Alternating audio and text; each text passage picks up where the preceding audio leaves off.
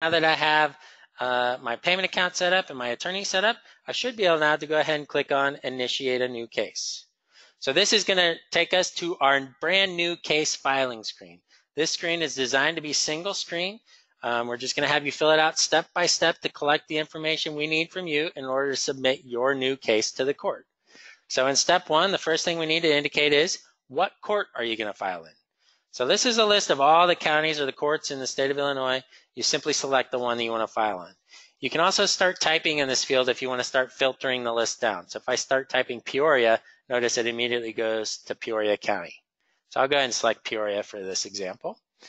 And then case type. So this is a list of all the case types available in Peoria County for e-filing. Again, you could filter this down. If I start typing something like law, it's just going to show me all the law cases.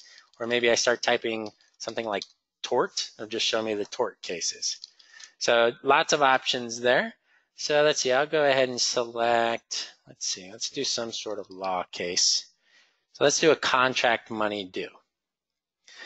So now we're going to move on to step two, where we must identify and upload the documents we're going to submit to the court. So the first field here is a document type field. What is the document type we're going to file? So this is a list of all the document types the court has made available on a brand new case filing.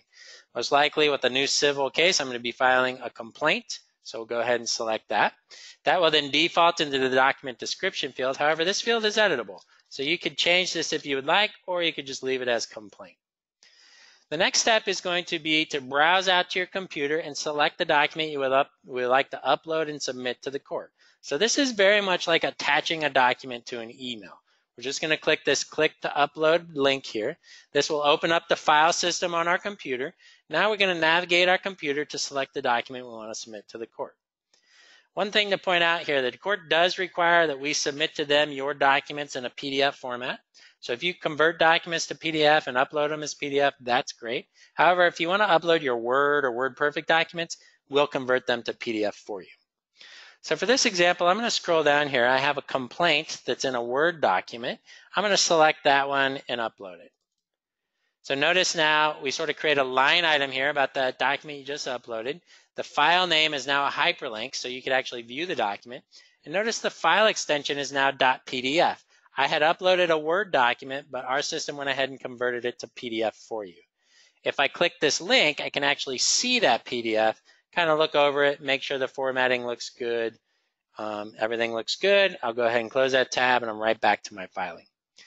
Now notice the fields here to upload documents are still available. That's because you can upload as many documents as you need to in order to submit your case to the court.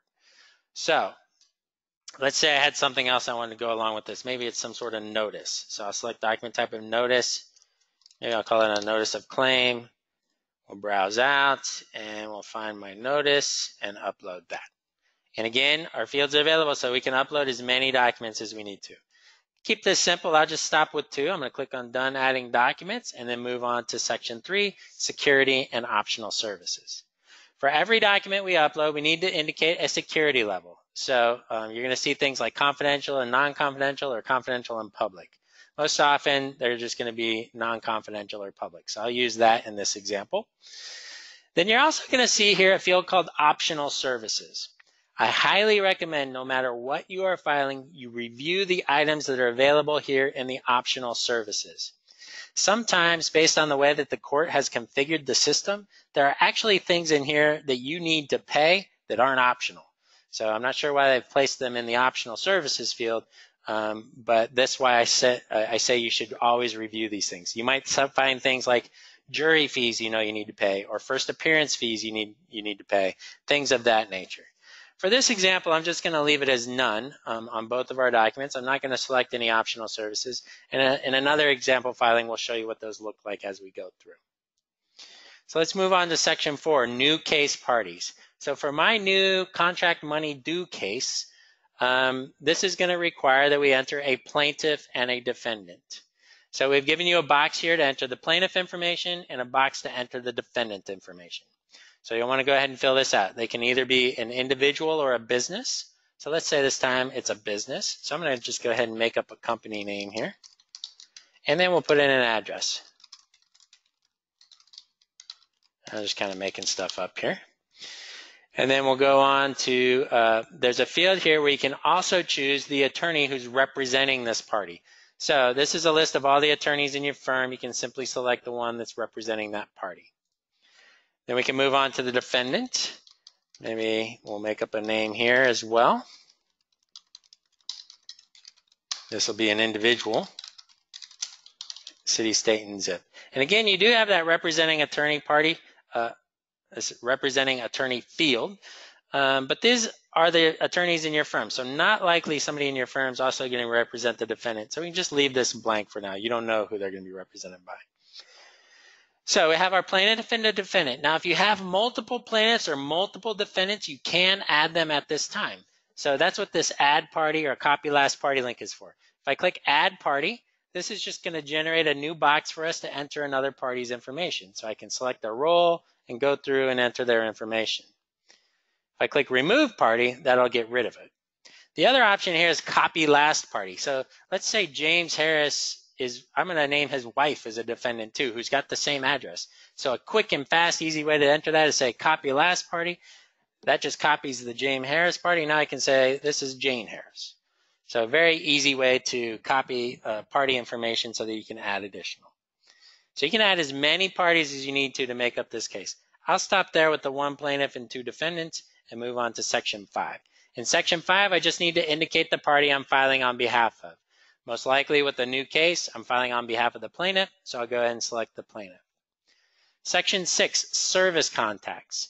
In the state of Illinois, electronic service is not supported, or at least they've chosen not to support it within the e-filing system. Um, so we can skip over this. We'll do a new demonstration. Uh, we'll do a demonstration on existing case filing to show you how electronic service works. Um, you're going to continue to do service um, by traditional means on brand new cases for now. Section 7, we're outlining the filing fees due. So we know for the case there's a $276 uh, fee due. Uh, we're not sure on the uh, complaint or the notice of claim. So all you can do is click any of these click to confirm links, and that'll have us reach out to the court to confirm the filing fees, and then we display a new column out here to confirm those fees. So we have uh, $276 on the new case, nothing for the complaint or the notice. We have green filings provider service fee of just $1. And then here's where we see that court convenience fee. So this is going to be $8 in this instance. That's roughly 3% of the total filing fee because the payment account I have selected is my credit card. Now, if I choose this over to eCheck and I click confirm fee calculation again, notice this convenience fee changes to just 25 cents. So it can be very much uh, cheaper or a lot cheaper to use an e-check versus a credit card when you're e-filing. But that's up to you as the filer. Now, if this was a filing where you believed you don't owe these filing fees, maybe you're a government entity, this is where you would choose that waiver option. So you go ahead and choose waiver. Again, you can click confirm fee calc, and this should come back now as zero. Um, so if you're submitting with a waiver payment account, it's going to zero it out. In this instance, I'll go ahead and use my credit card, and then we'll move on to section five, or section eight.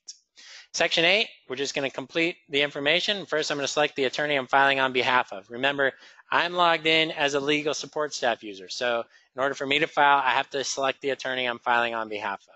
So I'll go ahead and select my attorney. Client matter number. This is where you can input your own internal client or file numbers. This is an optional field that will accept any value you want to put on in there. Um, but its intention is so that you can track filings against your own internal uh, tracking numbers. This will display on any receipts generated out of the system, any reports generated out of the system, so that you can track against clients.